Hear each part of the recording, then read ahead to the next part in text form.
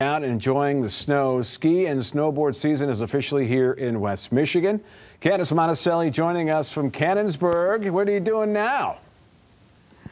Good morning. We are on the Bunny Hill, so I had to test out the magic carpet. Even though I don't have skis on, we had to test it out, make sure it was ready to go for the entire season and hopefully not fall in the process doing so. But Cannonsburg has plenty of snow. We've been checking it out all morning long. Danielle has been with us.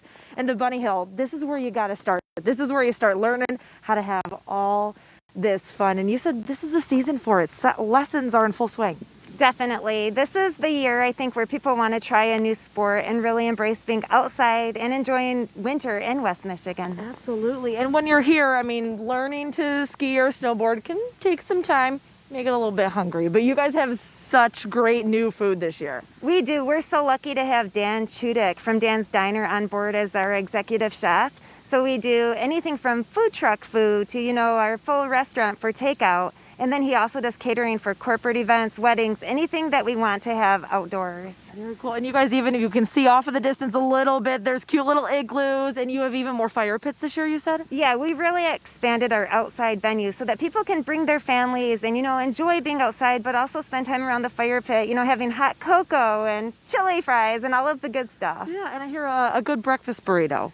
The breakfast burrito is the best, I want to say in the state. Prove oh. me wrong, prove me wrong. It's All great. Right. We got to come out and try the breakfast burrito. And you even said too, you guys are still through all this doing corporate events, birthday parties, all that safely too. Absolutely. We have so much wide open space around here and now's the time where, you know, people can switch it up a little bit with events that they might have indoors in the past, you know, and try activities. So companies can come out and go skiing or tubing together, but then, you know, have a catered dinner. Yeah, very cool. And you guys have everything open. I mean, we're just on the Bunny Hill here, but how many hills are we working with when everybody comes out? Right now we have seven runs open and we are expanding as we make more snow and then we have four lanes at tubing. Perfect. And where can we find all the information? I know lift tickets now available online. That's new for this year too. Definitely. So people can book ahead and plan their trip and all of that is on cannonsburg.com. Mm-hmm. And anyone worried about the pandemic, you guys are really keeping everything with capacity numbers and safety protocols. You're really keeping everyone safe. We are. We've been planning for this for months and constantly pivoting. Yeah